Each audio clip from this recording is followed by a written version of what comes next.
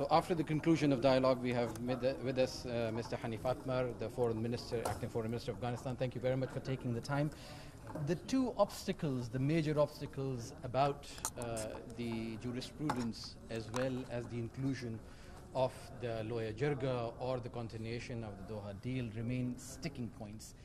Have you made any progress? How hopeful are you? Because I spoke to some diplomats and they say if you look at the ha glass half full, at least nobody has walked out of the table yet.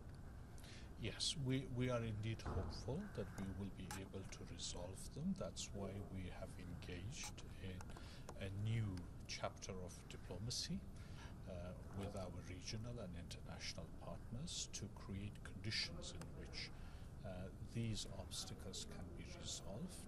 Um, nobody expected that these negotiations would be easy everybody predicted obstacles of variety.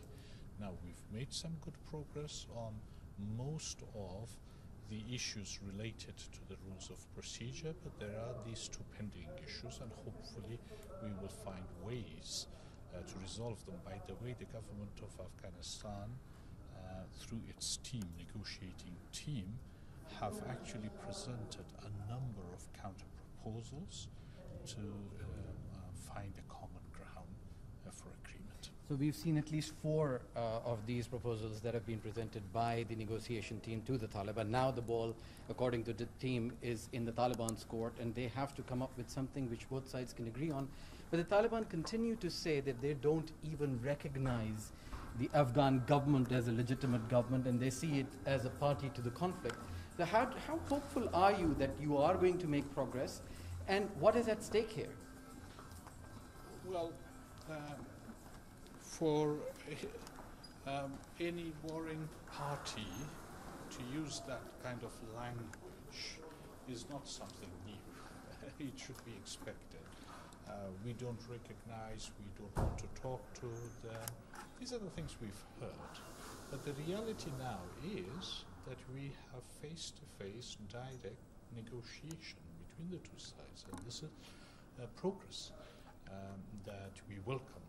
Now we do have obstacles, and this is exactly the purpose of the negotiation to remove these obstacles. Uh, and finally, now that it's been nearly three weeks since this uh, uh, dialogue began, uh, talks seem to have stalled, and the only uh, sticking point seems to be the two sticking points that you mentioned. It's not moving forward and there is no reduction in violence. Hundreds of people have been killed in Afghanistan.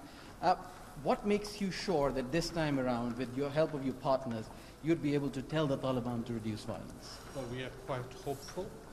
Uh, uh, those who would insist on uh, uh, violence would be uh, extremely marginalized and they will not have uh, any legitimacy in any of their causes to pursue. Thank you so much. Thank I you very much, Mr. Haneef.